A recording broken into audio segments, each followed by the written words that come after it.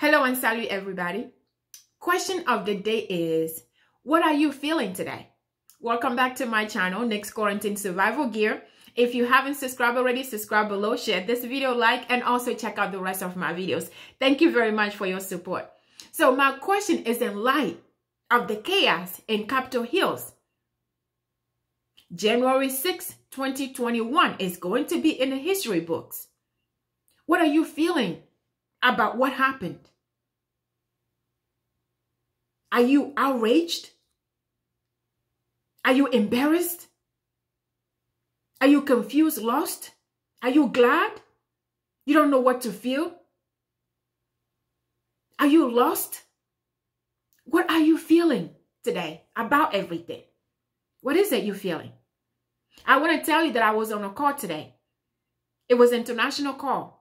And there were two ladies they said they were ashamed to call themselves an American. They were they didn't want to announce where they were from. They said they were ashamed to be called Americans because of everything that is happening. The level of infantile behavior and action that we have seen, the comparison of Black Lives Matters protests to this protest, the double standards that we can see between the two, the injustice that we can see between the two, even though the Black Lives Matters is rightfully so and way overdue and is so needed, it is outrageous. So yes, we are all angry, confused, lost, outrageous. I understand you're not alone if you're feeling certain way. Whatever you're feeling, you're not alone. But I want to tell you, I want, I'm doing this video to invite you, to encourage you to stay calm and peaceful. Because good always prevails. And justice will prevail. One of the other, one way or the other, it will happen. It's a shame to know that it gone this long it gone this far.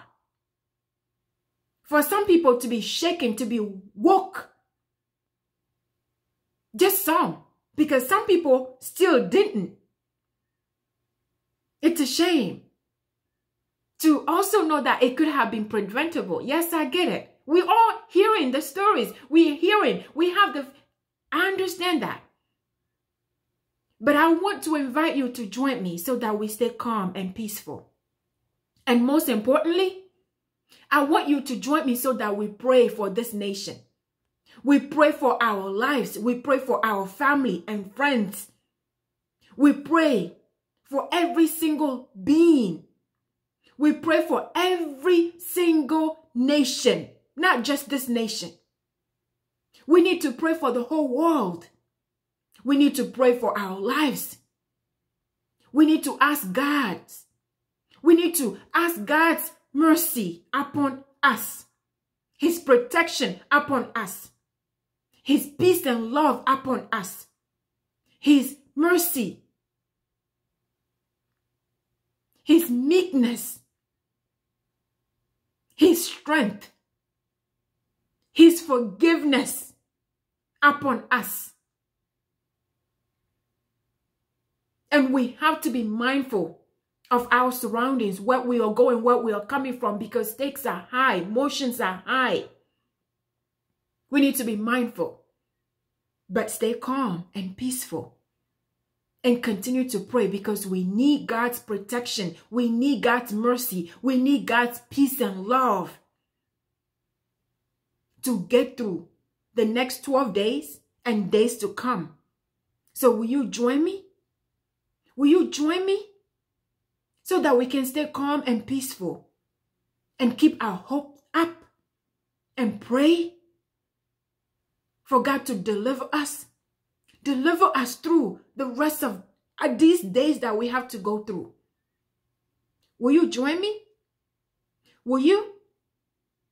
Please share this video to everybody if you haven't already. Subscribe if you haven't already. And also check out the rest of my videos. Please stay safe and thank you for your support.